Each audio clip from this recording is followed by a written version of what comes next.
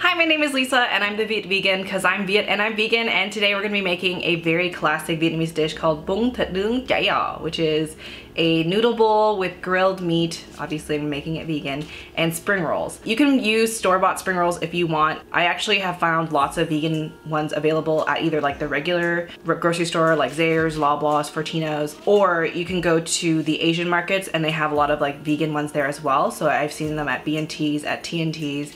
Um, just check the ingredients to make sure there's no animal products in it. For the most part, I've been able to find vegan spring rolls at the grocery store. However, if you would like to make your own, I have a recipe on my blog, the vietvegan.com as well as on my YouTube channel, The Viet Vegan. You're welcome to come subscribe over there and check it out. But today we're gonna be making a marinated, it's supposed to be grilled, but I don't really feel like grilling it. And if you don't have access to a grill, perfect. You probably have access to an oven. So I'm making it in the oven this time. This is something that my mom used to do with like chicken wings. So I feel like I'm doing it the same with soy curls today. Uh, I hope you guys are excited, having a great day and enjoying this veg virtual food fest. Yeah, so we're gonna start off with marinating the meat. So First, we have to rehydrate the soy curls. Now, if you guys aren't familiar with soy curls, they're basically dehydrated soybeans that are like pressed and layered together so they have like a flaky chicken-like flavor. You can find them at Coven, which is in Hamilton. Um, I've also seen them at Zero Waste Bulk in bulk.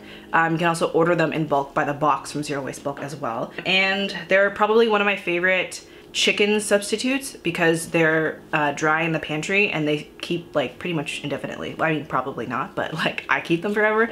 Granted, we eat through a box within like a year, like a giant 12 kilo box. To rehydrate these, I just kind of cover them in boiling water. So what I have here is the amount for like half a package. Now they're normally sold in like, yeah, 220 gram bags, but because I buy them in bulk, I try to reduce the amount of plastic that I use. I measured out about half of a bag worth, which is about 110 to 115 grams. So so I've rehydrated with some hot water and then I've drained it and then squeezed out as much liquid as possible. You wanna get them as dry as possible, but not like desiccated like they were before, like dehydrated. So you still want them to be hydrated, but as dry as possible so that they have more space in them to soak up the marinade. For the marinade, we're gonna uh, mix it directly inside the container that we are baking it in. So I have a bunch of different ingredients here. We have some onion. This is uh, just regular cooking onion. Traditionally, you would use shallots, but um, I don't have any. So that's, we're gonna use some onion.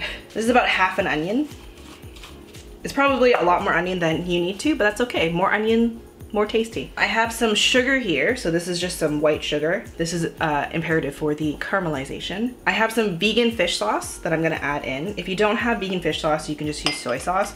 But um, I found this fish sauce here I found it at B&T's in Kitchener, so if you want to find it there, they probably have it because that's where I got it from. We're gonna also add some vegetable oil, so you want some something that does well in like high heat, so like a canola, sunflower, and then you're gonna add a little bit of dark soy sauce. So this is mushroom flavored dark soy sauce. That's just gonna add a little bit of extra color and like deep flavor. So we're gonna also press some garlic into the mix as well.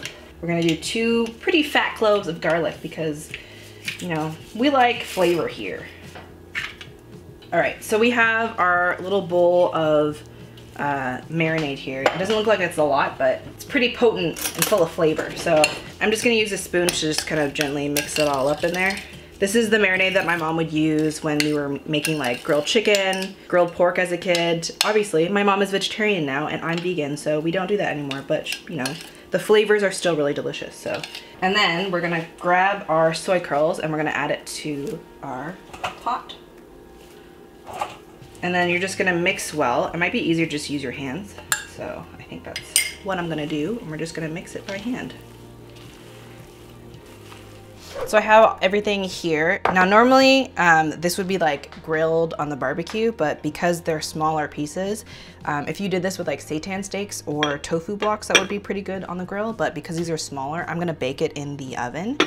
Um, and my mom used to bake chicken wings in the oven all the time. I'm gonna put this covered in the oven and cook it for 15 minutes and then I'm going to uncover it for another 15 minutes and let it continue baking. I preheated my oven to 375, so let's go bake that. I have to move the camera because uh, the oven is directly in front of my camera. so the next thing that we're gonna prep are the spring rolls. I have the full recipe for the spring rolls on my blog already. So if you guys want the full recipe to that, I believe the organizers will link it somewhere, but it's on thevietvegan.com. You can just search spring rolls in the search bar. But I'm going to fry up some of those spring rolls right now. Turns out I don't have very much oil left, but that's okay. I'm just gonna use some oil now and I'm gonna preheat some oil for frying. So you just want about like an inch or two. We're gonna preheat the oil to about 350, 375. If you don't have a thermometer um, to measure the temperature of your oil, what you can do is you can just use a wooden chopstick and stick it into the the oil once it's hot enough. The oil should look like it's shimmering and the there should be like air bubbles that are coming out of the bottom of the chopstick quite rapidly. Again, do not do this with a plastic chopstick. It will melt. do it with a wooden chopstick. All right, so while our oil is heating up, we're also going to prepare our noodles. So I have some thin rice vermicelli. This is the typical kind of uh, noodles that we want to use for this kind of bowl. Hey, it even has the bowl on the front of the package. It's called bung tui, which means fresh noodles. Um, it's not a very descriptive um, thing, but you're looking for like thin, noodles, not like the super, super thin ones, but like medium thin. Um, you can use the thicker ones too. It's not a huge deal. It's just not as easy to eat and the noodles won't pick up as much sauce. I've also got some pickled carrots and daikon here for the bowl as well. It adds a little bit of acidity, a little crunch, a little tasty tasty, and it's very good. Um, if you want that recipe, it'll be on my blog as well. Um.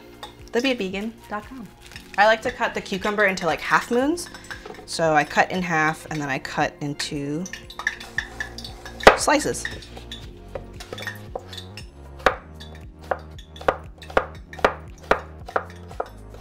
Okay, we're sitting at 287, and when I put my chopsticks in, the bubbles do form, but they don't come out very fast. So it's not quite ready yet. We're just gonna pop this into the hot water. And we're just gonna use some chopsticks to push these noodles into the water. Oh, some noodle fell down into the abyss. All right, we got it before it caused a fuss, you know? Uh, I regret. I'm gonna move the to another element. The timer just went off for the grilled chicken. Um, I'm gonna have to move you guys slightly. Lid has been removed. We're gonna check the oil. 415 degrees. Oh my. So when you're frying, especially with frozen stuff, um, you kind of want to add it like one or two at a time. And you want to give it enough space to like move around. So I'm gonna fry three at a time in this pot. And it's looking pretty good so far. When you start to see a side go golden like this, you can just do a little quick turn. Unless it doesn't want to. Okay, since it's not turning, I'm just gonna dunk it underneath the oil. I don't have any paper towels, so I'm just gonna use some parchment paper to sort of soak up any oil. Yum. Check the temperature of the oil. 375. They're nice and golden brown, so we're gonna take them out and let them quote, quote unquote drain. Try to get as much oil out of there as possible. I have like a parchment paper line thing, but paper towel or some sort of cloth is better. Careful not to drop it into the hot oil again. And then we continue to fry some more. If you wanted to bake or air fry these, I would recommend brushing them in a little bit of oil and then baking for about like 15 to 20 minutes probably. Basically until you see that the outside edges are golden. Um, the more golden, the better. All right, so we're gonna pull these out. See how things are going. It's looking pretty good. Obviously it's gonna get more color um, in on the grill than it is in the oven. I'm gonna put that back in there. So the noodles look pretty ready. I'm just gonna take one to try. All right, I'm gonna turn off the heat. And then we're gonna drain the noodles.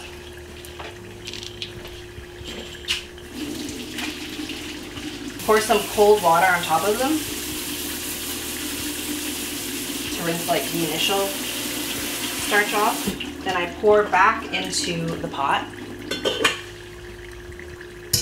And I refill that pot with cold water. So that pot is refilled with cold water and this sort of stops the cooking and it sort of rinses out some more of the starch and brings the temperature to a more chill temperature. So while this is doing that, what I'm gonna do is I'm gonna separate the noodles into the basket by portion. It's a little time consuming. So what I'm doing here is I'm taking handfuls of the noodles and I'm sort of arranging them in the colander by a clump so that you can take portions of the noodles instead of, you know, grabbing like one chunk of noodles and breaking a bunch and when you're trying to portion them for later when you're eating. And then you let them drain in the colander so that they can, you know, release the excess water but still be kind of like sticky and chewy and hydrated.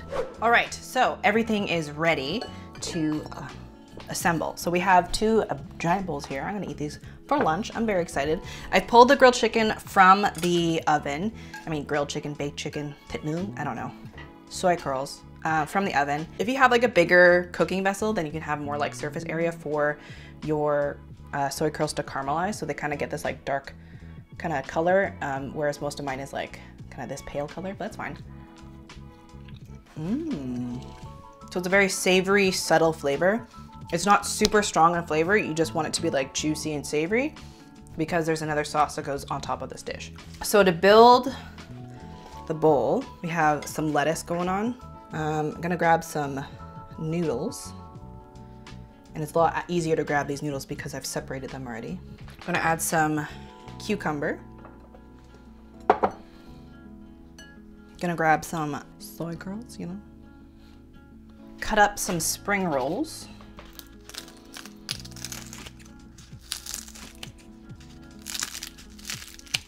And then pickled carrots and daikon. I made these the night before and it adds a nice bit of crunch and color on top. So then I toss with a, another sauce called uh, nước mắm chấm, and it is a like sweet, tangy, salty, funky, saucy town. And it's usually based off of fish sauce, but I didn't use vegan fish sauce in this one. I used soy sauce. I used Golden Mountain soy seasoning, which is what I grew up eating. And I like the soy sauce version of it slightly better. Um, but it's a combination of lime juice, garlic, chili pe or chili pepper that's like crushed up. You can omit the chili if you can't really handle the spice, water, sugar, and soy sauce. And so I'm gonna pour that on top of this, and that is the bowl. So this is the bung jaya uh, thịt nướng, bung thịt nướng. That's the order it is. So bung thịt nướng jaya. So bung means noodles, thịt nướng is like baked or grilled um, meat, and then jaya, which is the spring rolls. And then so we have a nice balance of freshness, some vegetables. If you want to add a little extra, extra crunch of the peanuts, highly recommend that. That is a good time. And then some saucy goodness, and that is the bowl. It's a lot of work to like make all these individual components, but together all at once. It is so, so, so good. And it's such a refreshing, delicious, savory meal. So the next time you go to your Vietnamese restaurant and they have one of these bowls that are vegan for you, I hope you appreciate it a little bit more because it takes a lot of work to put all this together. so again, if you want the recipe for any of these dishes, so the pickles, the sauce, the spring rolls, the uh, grilled meat, the whole bowl overall, um, I'll link it on thevietvegan.com. Um, and yeah, thank you guys so much for watching. I hope you check out my blog. Um, I hope you guys are enjoying this virtual uh, Veg Fest. Such a cool idea.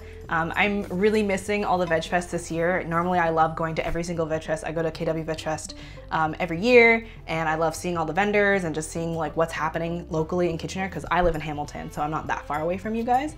Um, but it's just like so cool to see how much the veg scene has grown over the years. Yeah, thank you so much for watching and I hope you guys have a delicious day. Bye!